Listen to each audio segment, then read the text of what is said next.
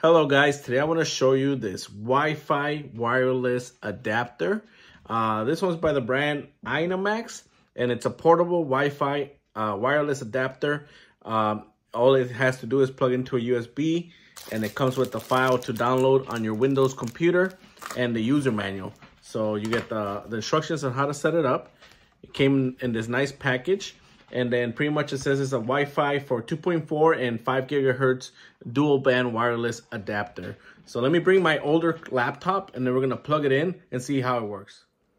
All right, guys, so we have everything set up. Pretty much all we had to do is plug in the USB into our PC, into our laptop right here. And as you can see, we can move the, the, the antenna for a better signal. Uh, but right now we have an older uh, 2009 uh, laptop and it was having trouble with Wi-Fi. So we were able to plug this in and now we have the Wi-Fi connection. So now we can actually connect via Wi-Fi uh, pretty much on the network at home.